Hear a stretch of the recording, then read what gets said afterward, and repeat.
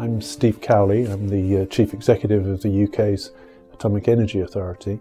I've spent my life trying to make fusion energy work. My laboratory, which is called Culham, hosts the only machine in the world at the moment that can actually make any significant amount of fusion energy.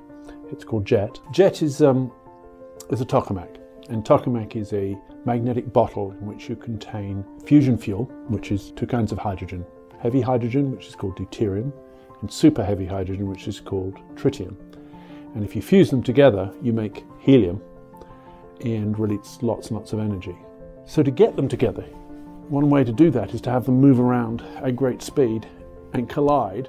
In order for them to move fast enough to do that, they have to be moving at about a thousand kilometers a second, which means that they're incredibly hot.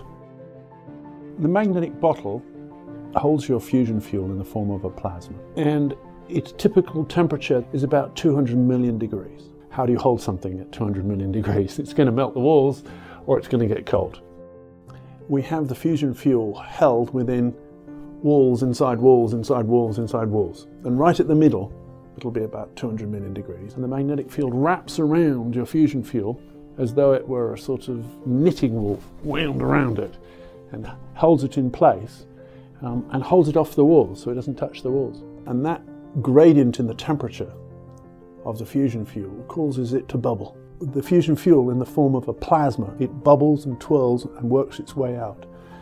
Now, if it's bigger, it takes longer to work its way out. And so you can get to higher temperatures and hold it there for longer if you make a bigger device. The world is embarking on a very interesting experiment. It's called ITER. It's an experiment to make the first fusion burn because we've been able to do some fusion in JET 16 million watts of fusion. But we had to be pouring energy to keep it at 230 million degrees. What ITER's going to do is it's going to cause enough fusion to happen that it will keep itself hot. It's like lighting a fire, and we've never done that. I have a job where I run a large organization at the moment. Um, but at the end of every day, from about four in the afternoon onwards, I work on physics. And it's still the most fun thing you can do with your time is to think about physics. Fusion is very important for the world, but on a day to day basis, I just do it because it's fun. Working on fusion could be one of the most rewarding things you could do with your life because sometime in the future, our world is going to be powered by fusion reactors. And we need a new generation of people who understand these problems to take this forward and make it a reality.